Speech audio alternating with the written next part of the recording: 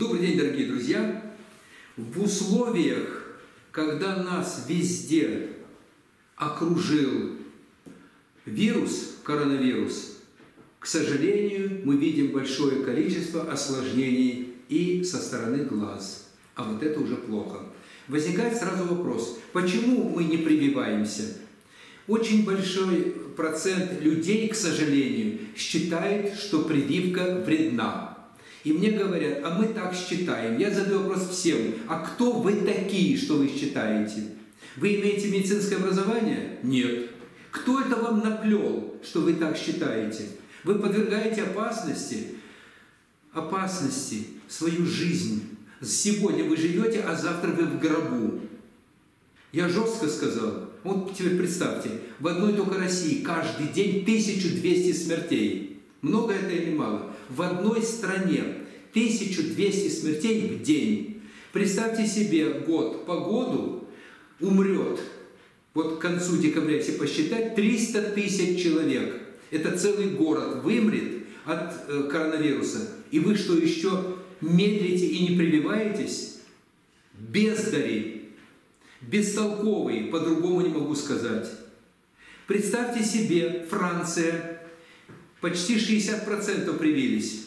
У них 70%, в Англии 70% смертей, а в России 1200. Ну что, кто более оправдан с точки зрения разума? Конечно, они, французы и англичане. А мы? Россия сделала сейчас пятую э, значит, вакцину, а процесс прививок небольшой. До 50 не, до, не доходит. Самая страшная картина в Украине. Там вообще самое страшное в процентном отношении. Хуже, чем на планете Земля. Это Украина. А рядом Россия. Вот две две э, сестренки, Украина и Россия, тащимся в хвосте.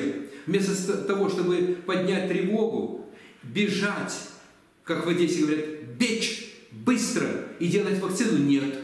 Мы начинаем э, выступления на площадях, значит, посягательство на права человека и всякую ерунду несем, когда завтра тебя поджидает смерть, самая настоящая смерть. И готовиться надо для того, чтобы лечь в гроб. Вам это надо. Поэтому первое, что нужно делать, каждый врач, каждая медсестра должна уговорить любого, кто вокруг, вакцинироваться. Но самые главные преступники – это именно врачи или медсестры, которые отговаривают. Такая ситуация была и во время оспы, полимиелита, когда огромное количество людей полегло. И тогда в такое тоже было обязательно антивакцинисты. Да. Э, и всегда это было но мы не хотим извлекать урок. Мрем и все равно в позу становимся, а я так считаю. Поэтому очень правильно поступил э, глава Крыма.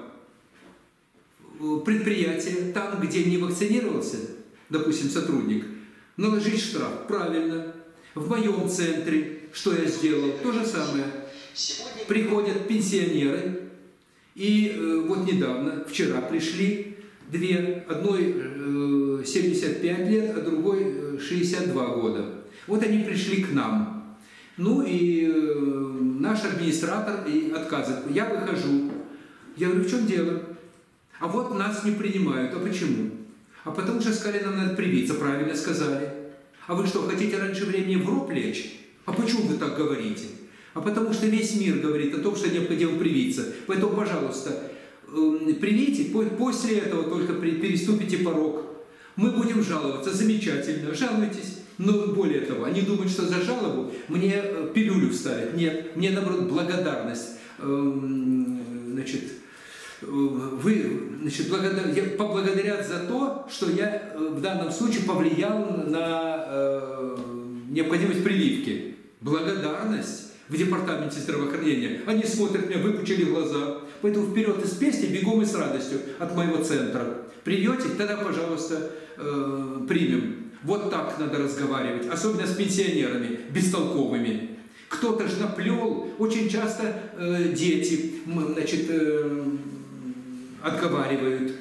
И когда мы поговорили с, э, с ну, нашими пациентами, одна пара была, Они говорят о том, что да, мы пойдем, придемте, только детям не говорите, что мы привились. Представляете, что до чего доходит? Это же ужасно. Эм, профанация, это, это бездари. Давайте вместе спасем себя и окружающих. Благодарю за внимание.